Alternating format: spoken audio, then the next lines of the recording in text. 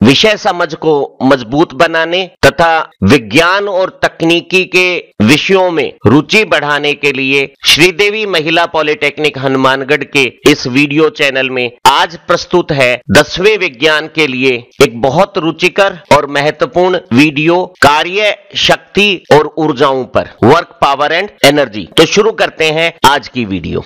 हमारे विज्ञान विषय की एक शाखा है भौतिकी। भौतिकी में एक विषय है, जिसे हम कहते हैं यांत्रिकी। और आज का हमारा वीडियो यांत्रिकी के एक बहुत महत्वपूर्ण विषय कार्य से शुरू करते हैं। अगर मैं किसी दीवार को बलपूर्वक धकेलने की कोशिश करूँ और दीवार में कोई विस्थापन ना हो, विज्ञान की भाषा के अनुरूप बल द्वारा कोई कार्य नहीं होगा। कार्य बल की स्थिति में तब सामने आएगा, जब कोई ऐसा विस्थापन भी हो जो बल की दिशा के अनुदिश हो। विज्ञान की भाषा में हम कार्य को परिभाषित करते हैं बल और बल की दिशा में उत्पन्न विस्थापन के गुणनफल को कार्य कहते हैं। तो ध्यान रहे, यहाँ दो चीज़ें हैं। एक है बल और दूसरा है ऐसा विस्थापन जो बल की दिशा में कोई घटक रखता हो। एक उदाहरण से चीज़ समझते हैं। एक वस्तु पे एफ़ न्यूटन का बल लग रहा है और अब हम इसे बल के द्वारा विस्थापित करते हैं और कुल विस्थापन की मात्रा अगर एस हो तो हमारे द्वारा किया गया कार्य होगा बल और बल की दिशा में ये जो विस्थापन हुआ है, इन दोनों का गुणनफल। बल को हम न्यूटन इकाई में नापते हैं और विस्थापन को एम इकाई में मीटर में नापते हैं तो न्यूटन और मीटर के इस गुणा को कार्य की इकाई के रूप में जूल में नापते हैं। अगर हम एम की बजाय पुरानी सीजीएस मापन पद्धति में काम करें तो बल की इकाई डायन है और विस्थापन को सेंटीमीटर में नापते हैं। और कार्य जो बल और विस्थापन का गुणा है, वो डायन और सेंटीमीटर के गुणे के तौर पे अर्ग हो जाएगा। हमने देखा कि कार्य को एमकेएस इकाई में जूल में और सीजीएस इकाई में अर्ग में नापते हैं। एमकेएस इकाई जूल ज़्यादा व्यवहारिक और बड़ी है और जब इकाई बड़ी होती है तो उसका संख्यात्मक मान छोटा हो जाता है। तो आप देखेंगे कि एमकेएस जूल कार्य है, वो सीजीएस अर्घ कार्य से बड़ा है और दोनों में जो अंतर है। वो दस की घात सात। ये बात हम सिद्ध भी कर सकते हैं, क्योंकि एक न्यूटन है, वो दस की घात पाँच डायन के बराबर है और एक मीटर दस की घात दो या सौ सेंटीमीटर के बराबर है। तो जब आप डायन और सेंटीमीटर का गुणा करेंगे तो वो अर्ग आ जाएगा और जो संख्या है, वो दस की घात सात हो जाएगी। और दस की घात सात अर्ग है, वो एक न्यूटन और एक मीटर का गुणा एक जूल कार्य होगा। हम एक बहुत सरल एक जूल की परिभाषा भी बना सकते हैं और वो है कि अगर हम एक न्यूटन के बल से बल की दिशा में वस्तु का एक मीटर विस्थापन करें तो इस तरह से किया गया कार्य एक जूल होगा। अब एक और स्थिति हो सकती है कि हमारे द्वारा लगाया गया बल की दिशा, जो हमने नीले तीर से प्रदर्शित की है, और वस्तु का विस्थापन, जिसे हम लाल तीर से प्रदर्शित कर रहे हैं, दोनों के बीच में कोई कोणीय अंतराल है। ऐसी स्थिति में कार्य का मान इस बल के साथ उस विस्थापन को गुणा करने से आएगा, जो बल की दिशा में है। अब अगर विस्थापन s है और बल के साथ थीटा कोण बना रहा है तो मुझे इस विस्थापन s का वो घटक निकालना है, जो बल की दिशा में हो। और मैं देखता हूँ कि ये जो लाल रेखा है, ये इस लाल तीर वाले विस्थापन का वो घटक है, जो बल की दिशा में है। और जब हम इस तरह से कोई समकोण त्रिभुज बनाते हैं तो मैं देखता हूँ कि इस थीटा आधार कोण और इस समकोण के साथ। ये सबसे बड़ी भुजा समकोण के सामने कर्ण है और ये समकोण और थीटा के बीच में आधार है। और मुझे मालूम है कि आधार का संबंध कॉस थीटा से होता है। तो मैं कह सकता हूँ कि ये जो बल की दिशा में विस्थापन है, वो इस विस्थापन एस का कॉस थीटा घटक है। तो बल की दिशा में विस्थापन का घटक हो गया एस कोस थीटा। और अब मैं बल की मान की बल की दिशा में विस्थापन के घटक से गुणा कर दूँगा और इस तरह से जो नया मेरा एफ़ एस कोस्थिटा थीटा रूप आएगा, वो इस स्थिति में किया गया कार्य होगा। बल और विस्थापन दोनों भौतिकी की भाषा में सदिश राशियाँ हैं और इन्हें व्यक्त करते समय दिशा बोध होना ज़रूरी है। अब तीन ऐसी रुचिकर स्थितियाँ हैं जिसमें बल और विस्थापन के मध्य कोण कार्य निर्धारण को प्रभावित करता है। एक पहली स्थिति लेते हैं जिसमें बल की दिशा और विस्थापन की दिशा एक समान है। ऐसी स्थिति में कार्य किसी बल द्वारा विस्थापन के साथ अधिकतम मान रखेगा, क्योंकि इस स्थिति में बल और विस्थापन के बीच में कोण कितना है? Zero degree. और हमें पता है, त्रिकोण मिति में कॉस ज़ीरो डिग्री का मान कितना होता है? अधिकतम एक। तो ऐसी स्थिति में कार्य बल, विस्थापन और दोनों के बीच में एक ही दिशा होने के कारण कॉस ज़ीरो डिग्री का एक मान होने के कारण अधिकतम पूरा पूरा बल और विस्थापन का गुणनफल हो गया। पुराने उदाहरण को फिर दोहरा लेते हैं। इस वस्तु पर ये जो नीला तीर है। वो वो बल की दिशा बता रहा है और इसी वस्तु को मैं बल की दिशा में लाल तीर से इंकित विस्थापन करता हूँ। तो बल और विस्थापन के बीच में कोण शून्य है और शून्य का कॉस ज़ीरो डिग्री का मान एक होने के कारण जो कार्य है, वो बल और विस्थापन का गुणनफल हो गया है। एक और उदाहरण बहुत सहजता से हम देखते हैं कि अगर कोई वस्तु स्वतंत्रता पूर्वक गुरुत्व प्रभाव में एच ऊंचाई से ऊर्ध्वाधर नीचे की ओर गिरती है ये कोई एम द्रव्यमान की एक कोई वस्तु है, जो पृथ्वी के गुरुत्वाकर्षण के बल के कारण उत्पन्न गुरुत्व त्वरण जी के प्रभाव में ऊर्ध्वाधर नीचे की ओर एक बल अनुभव कर रही है और उस बल का मान वस्तु के द्रव्यमान और गुरुत्व त्वरण जी के गुणनफल के बराबर एम इंटू जी हो गया है। और ये बल यहाँ नीले तीर में ऊर्ध्वाधर नीचे की ओर है। अब ये वस्तु इस लाल तीर के भांति जब ऊर्ध्वाधर नीचे की ओर गति करेगी तो बल और विस्थापन एक ही दिशा में होगा हमारी एम द्रव्यमान की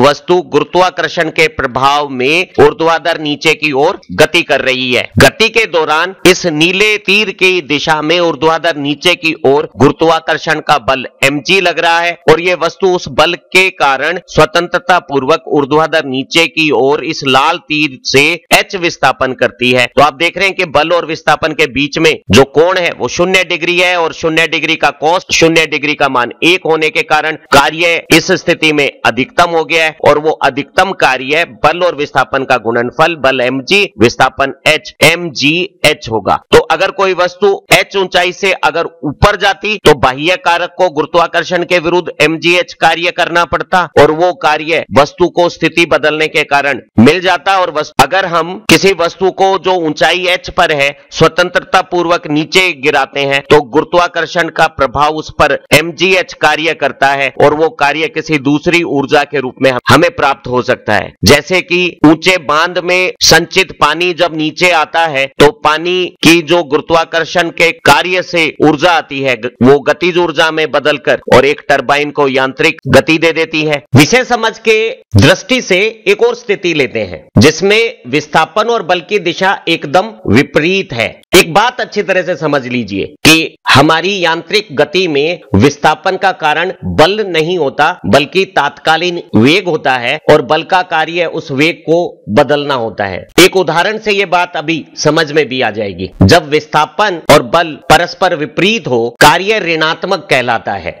क्योंकि त्रिकोणमिति में बल और विस्थापन जब एकदम विपरीत होंगे तो दोनों के बीच में कोण 180 डिग्री हो जाएगा और 180 डिग्री का कोसाइन मान माइनस एक के बराबर है। और आप देखिए हमारा जो कार्य का सूत्र था, बल, विस्थापन और दोनों के बीच में कोण का कॉस और कॉस 180 का मान कितना है? माइनस एक। और अगर अपन ये माइनस एक रखेंगे तो हमारा कार्य हो जाएगा बल और विस्थापन का गुणनफल, लेकिन उसका चिन्ह क्या होगा? माइनस होगा। दो उदाहरण लेते हैं और चीज़ें समझते हैं। पहला उदाहरण यह है कि हम कोई गाड़ी है जो चल रही है और गाड़ी के चलने की दिशा इस लाल तीर से अभिव्यक्त है। और हमने गाड़ी को रोकने के लिए ब्रेक लगाने हैं। जो ब्रेक लगाने के लिए बल लगाया गया है, वो गति की दिशा के बिल्कुल विपरीत कार्य कर रहा है। और ऐसी स्थिति में क्या होगा? जो गाड़ी के ऊपर कार्य है, वो ऋणात्मक होगा और गाड़ी का वेग घटके और गाड़ी शून्य वेग पाकर रुकेगी। एक और उदाहरण देखिए। हमने किसी वस्तु को किसी बाह्य कारक द्वारा कोई प्रारंभिक वेग देकर ऊर्ध्वाधर ऊपर की ओर फेंक दिया है। और जो शक्ति है, जिसने इसे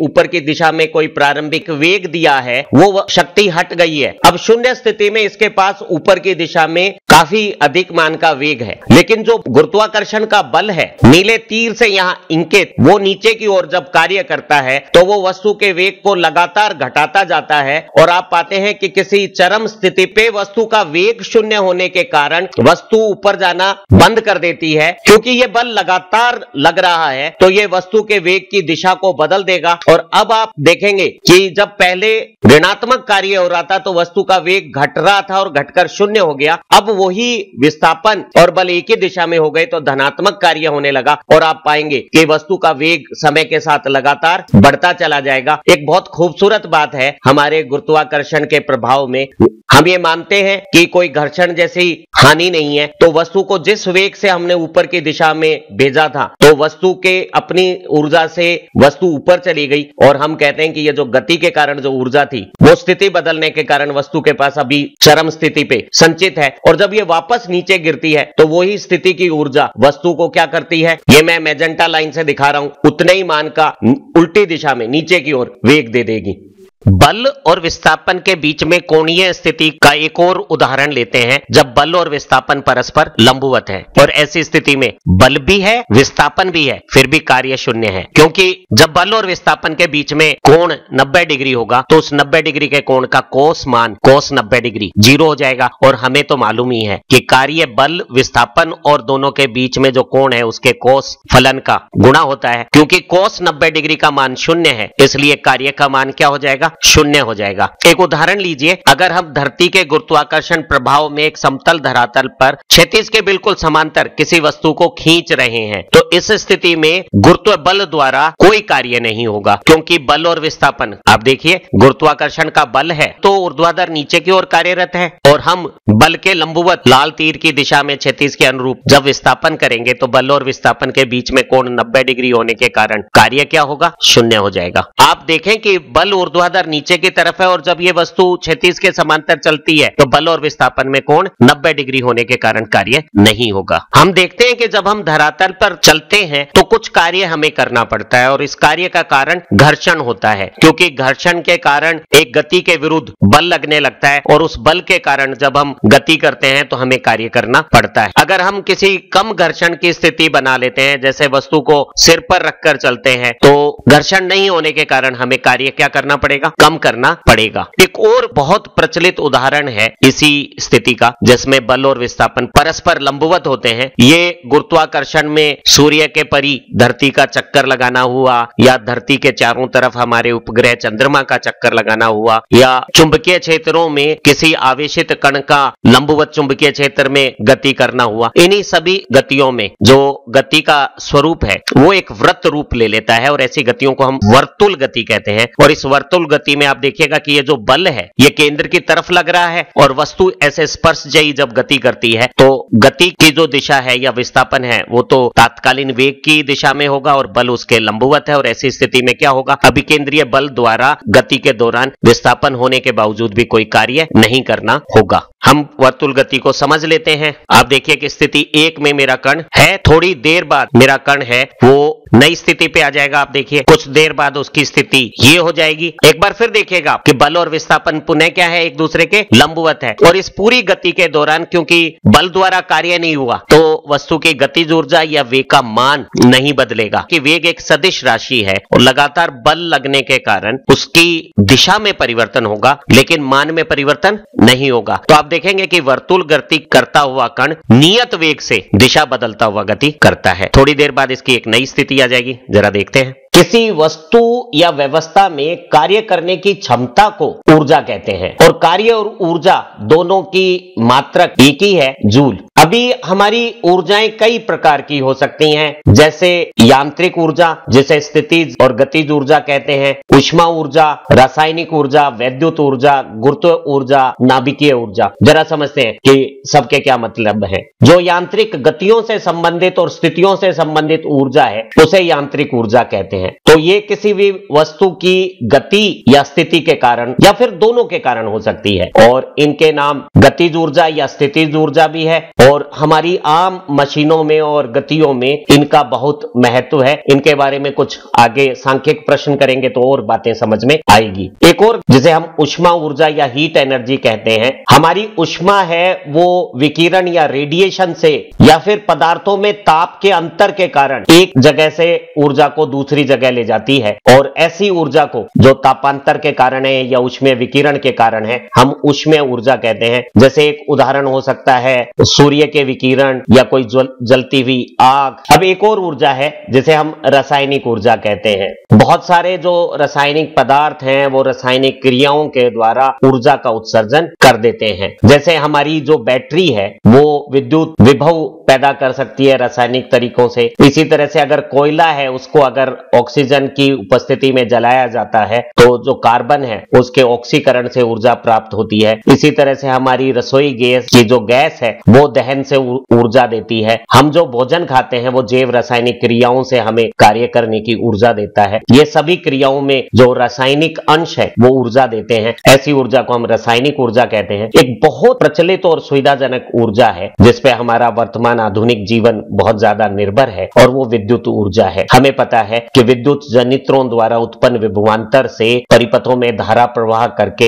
हम बहुत सारे कार्य विद्युत ऊर्जा से करते हैं। बहुत सारी विद्युत युक्तियाँ हैं, मोटरें हैं, पंखे हैं, या हमारा जो शीतलन के यंत्र हैं, वो सभी विद्युत युक्तियाँ हैं, वो विद्युत ऊर्जा से ही चलती है। पृथ्वी द्रव्यमान के कारण वो अपने समीप एक गुरुत्वाकर्षण की शक्ति रखती है, और इस शक्ति के कारण, वस्तुओं की स्थिति के कारण उनमें कोई ऊर्जा होती है, जैसे ऊँची स्थिति पे संचित बाँध में पानी। तो इस तरह की ऊर्जा को हम गुरुत्व ऊर्जा भी कहते हैं। एक और ऊर्जा है, जो विध्वंस का भी रूप ले सकती है और कुछ उपयोगी कार्य भी कर सकती है और वो है नाभिकीय ऊर्जा। कुछ नाभिकीय कण ऐसे हैं जो विखंडन की प्रक्रिया से या संलियन की प्रक्रिया से हमें ऊर्जा द्रव्यमान को रूपांतरित करके दे सकते हैं। ऐसी ऊर्जा जो द्रव्यमान से रूपांतरित होकर प्राप्त हो रही है, नाभिकीय क्रियाओं से, उसे हम नाभिकीय ऊर्जा कहते हैं। एक बहुत महत्वपूर्ण ऊर्जा की बात करते हैं, जिसे हम बोलते हैं गतिज ऊर्जा। न्यूटन का एक जड़त्व का नियम है, जो कहता है कि सहती या द्रव्यमान वाली वस्तु गति में होने वाले परिवर्तनों का विरोध करती है, और अगर कोई वस्तु स्थिर है तो वो स्थिर रहेगी, और अगर वो किसी वेग से चल रही है तो वो उसी वेग से चलना चाहेगी, जब तक कि उस पर कोई बाह्य बल ना लगे। ऐसी किसी भी वस्तु पे जब बाहर से बल लगता है तो उसके वेग में परिवर्तन होता है और इस क्रिया के दौरान बाह्य बल द्वारा कार्य होता है और अगर कार्य वस्तु को मिलता है तो वस्तु का वेग बढ़ता है और किया गया कार्य वो वेग के रूप में, स्वयं में संचित कर लेती है और किसी वस्तु में इस तरह से अंतनिहित वह ऊर्जा जो उसकी गति और द्रव्यमान के कारण है, उसे हम गतिज ऊर्जा कहते हैं। जैसे वेग के साथ पेड़ से गिरता फल, नदी में बहता पानी एक चलती हुई कार या तेज बहती हवा। सभी में गतिज ऊर्जा है। हम कह सकते हैं कि कोई ऐसी वस्तु जिसका द्रव्यमान m है और वो किसी वेग v से किसी क्षण गतिमान है तो उस क्षण पे उसके गतिज ऊर्जा का मान होगा एक बटा दो एम वी स्क्वायर या m वस्तु का द्रव्यमान है और v वस्तु का वेग है। किसी भी वस्तु में गतिज ऊर्जा हमेशा धनात्मक होगी और ये वस्तु के द्रव्यमान और वेग पे निर्भर करेगी। ये इस बात पे निर्भर नहीं करेगी कि वेग की दिशा कौन सी है। हमारी परीक्षाओं में गतिज ऊर्जा ज्ञात करने के प्रश्न आ सकते हैं, जिसमें हमें वस्तु का द्रव्यमान और वेग दिया होगा और गतिज ऊर्जा ज्ञात करवाई होगी। ऐसा भी हो सकता है कि गतिज ऊर्जा तो दी हुई होगी और द्रव्यमान या वेग में से एक देकर दूसरा पूछ लेंगे। एक उदाहरण करते हैं। हमें दिया गया है कि एक बंदूक से गोली दाग कर निकाली गई और गोली का वेग 500 मीटर प्रति सेकंड हो गया है। अगर गोली का द्रव्यमान 100 ग्राम है तो उसकी गतिज ऊर्जा ज्ञात करनी है। अब हम जिस मात्रक पद्धति में अध्ययन करते हैं, वो एम है, जिसमें लंबाई को मीटर, द्रव्यमान को किलोग्राम और समय को सेकंड में पढ़ा जाता है। तो मेरा द्रव्यमान जो मुझे 100 ग्राम दिया हुआ है, उसको मैं किलोग्राम में बदल दूँगा, हज़ार का भाग दूँगा तो ये आ जाएगा दशमलव एक किलोग्राम। वेग मुझे एम यूनिट सिस्टम में मीटर और सेकेंड इकाई में ही दिया हुआ है 500 मीटर पर सेकेंड तो इसको मैं सीधे उपयोग में ले लूँगा। अब मेरा गतिज ऊर्जा का सूत्र है half M V square M द्रव्यमान है, उसकी जगह मैंने 0.1 किलोग्राम में मान रख देना है। वेग 500 मीटर पर सेकंड है तो मैंने वेग का मान रख देना है 500 अब मैं जब गणना करूँगा तो ये 500 का जब वर्ग करूँगा तो पाँच का वर्ग तो आ जाएगा 25 और फिर मेरे पास चार ज़ीरो आएगी, उसमें से एक ये दशमलव वन के साथ कम रह जाए, हो जाएगी तो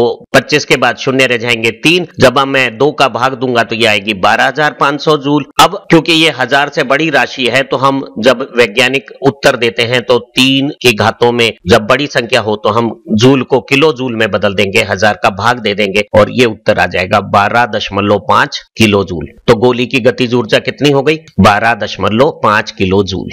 हमने जाना था कि ये जो हमारी धरती है, उसके द्रव्यमान के कारण उसके समीप एक गुरुत्व एक गुरुत्वाकर्षण का प्रभाव होता है और दूसरी वस्तुएँ धरती की तरफ़ आकर्षित होती हैं। और इस बल के कारण किसी वस्तु पर एक त्वरण काम करता है, उसे हम गुरुत्व त्वरण कहते हैं। अगर उसका मान जी हम गुरुत्व त्वरण का मान हम जी लेते हैं तो अगर कोई वस्तु जिसका द्रव्यमान एम है, कोई वस्तु जिसका द्रव्यमान एम है, वो अगर पृथ्वी के पास गुरुत्व प्रभाव में है तो उस पर गुरुत्व त्वरण g के कारण एक बल लगता है, जिसे हम mg कहेंगे, और इसको हम किसी दूसरी भाषा में वस्तु का भार भी कहते हैं। अब इस भार से वो धरती की तरफ़ आकर्षित हो रही है। अगर मैं उसे बिल्कुल धरती की सतह से सीधा ऊर्ध्वाधर ऊपर की ओर उठाता हूँ तो मुझे उस बल के विरुद्ध कार्य करना पड़ेगा। और अगर मेरा विस्थापन वस्तु का एच ऊंचाई है तो एच ऊंचाई तक वस्तु को ले जाने में गुरुत्व बल के विरुद्ध जो हम कार्य करेंगे, वो कार्य होगा बल और विस्थापन का गुणा एम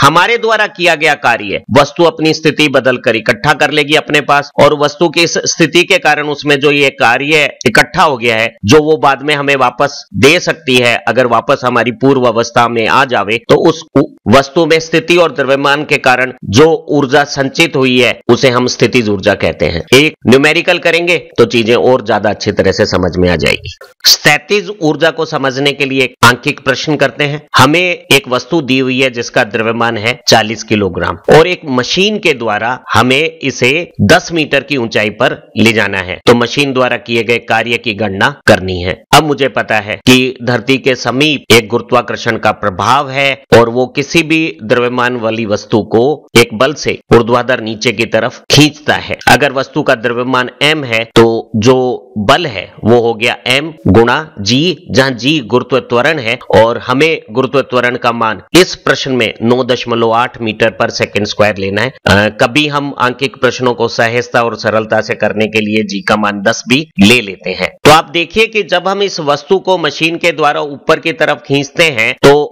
हमें बल के विरुद्ध कार्य करना पड़ता है। तो कार्य हो गया बल, जो गुरुत्वाकर्षण लगा रहा है, और मशीन के द्वारा वस्तु को बल के विरुद्ध चलाने में तय की गई ऊंचाई। और हमारा सूत्र बन गया एम जी एच एम की जगह हमने वस्तु का द्रव्यमान लिख दिया 40 किलोग्राम, क्योंकि एम के एस इकाई में काम कर रहे हैं, इसलिए यहाँ संख्या लिख दी 40 गुरुत्व त्वरण का मान हमें दिया हुआ है, वो हमने लिख दिया नौ दशमलव आठ मीटर पर सेकंड स्क्वायर। यूनिट लिखने की ज़रूरत नहीं है, सिर्फ़ संख्या लिखने से आंकिक प्रश्न हो जाएगा। बस जो इकाई है, राशि की, वो एम होनी चाहिए। और अब तय की गई दूरी, यहाँ नीले तीर से हम दिखा रहे हैं, वो 10 मीटर है। तो एम की जगह 40 जी की जगह 9.8 और एच की जगह 10 लिखने पर यह गणना हो गई 3920 और कार्य की इकाई है जूल।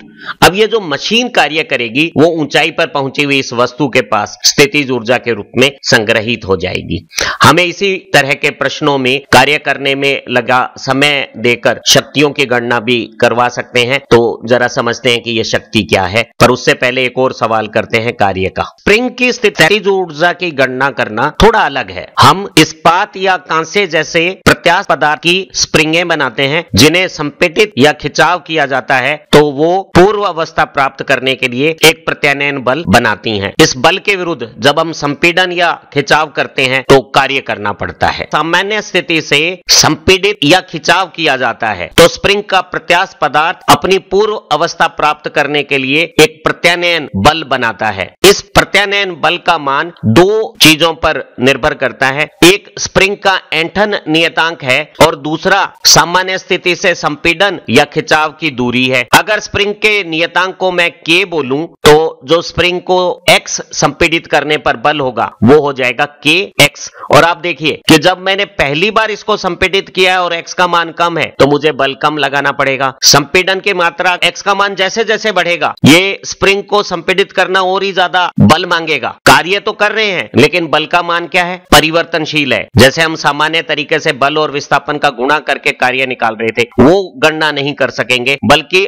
जब बल बदल रहा है तो हम एक गणित में विधा होती है, जिसे अवकलन बोलते हैं। उच्च विज्ञान और तकनीकी अध्ययन में आप गणित के ये दो विधाएँ, अवकलन और समाकलन पढ़ेंगे तो इस तरह की गणनाओं को बहुत सहजता से करना सीख लेंगे कि अल्प विस्थापन dx के लिए जब बल F है तो स्प्रिंग पे किया गया कार्य dw अब कुल कार्य निकालने के लिए और समाकलन से ये रिज़ल्ट आ जाएगा हाफ़ के एक्स स्क्वायर अब मैं इस सूत्र को स्प्रिंग को x संपीडित करने में किए गए कार्य बटा दो के एक्स स्क्वायर जहाँ के स्प्रिंग का एंटन स्थिरांक है, जो मुझे दिया हुआ है इस स्थिति में चार गुणा दस की घात तीन और इसकी इकाई मुझे दी हुई है न्यूटन प्रति मीटर। एक्स वो दूरी है जिस पर मैंने स्प्रिंग को संपीडित किया है और जो मुझे दी हुई है वो है शून्य दशमलव शून्य चार मीटर, यानी चार सेंटीमीटर। ये गतिज ऊर्जा जैसा ही सूत्र हो गया। एम की जगह के आ गया और वेग की जगह एक्स आ गया। अब आप इस सूत्र में के का मान चार गुणा दस की घात तीन न्यूटन पर मीटर और एक्स का मान शून्य दशमलव ज़ीरो चार तो ये दो का चार में विभाजन दो दे देगा। ये दस का घात तीन हमने ऐसे की, ऐसे उतार ली और ये दो बार शून्य दशमलव चार स्क्वायर है तो दो बार आया है। अब पूरा गुणा किया तो ये तीन